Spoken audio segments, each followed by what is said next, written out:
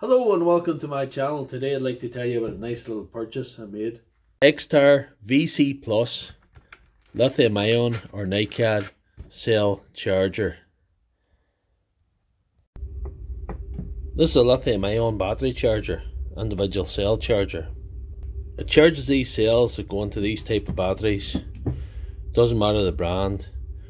They usually have either 18650 cells or 21700 cells and this charges both.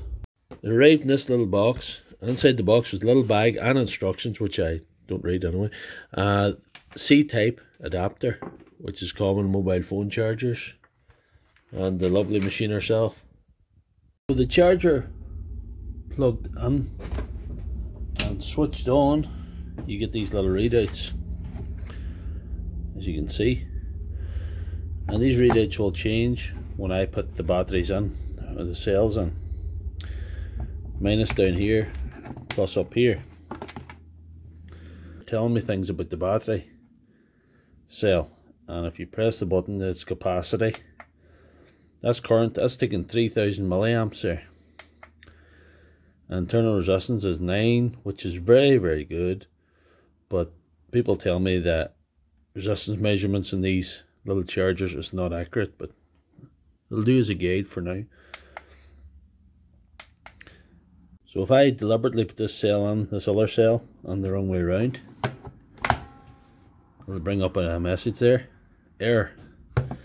That tells me I've it on the wrong way around. And if I put it on the right way around, it'll change something in the display here too. It's already showed that it's charging. But you seen that capacity went down in this other one. So it's dividing its ability to charge between the amount of cells it's on. So if you want the cell charged quickly, you have to put one on. So that's a top right there. And it will charge the 21700s and 18650s like I've said.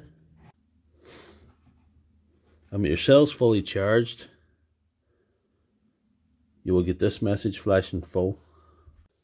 For best results, use its own USB plug-in charger. That'll get you better capacity than ordinary USB and it'll get you higher milliamps of charge onto your cells.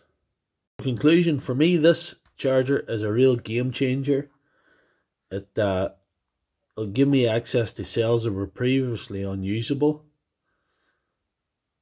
And if you want to take a look at the link in the description, you'll be able to own one for yourself. If you like this video, please give it a thumbs up and check out my channel for all my other videos.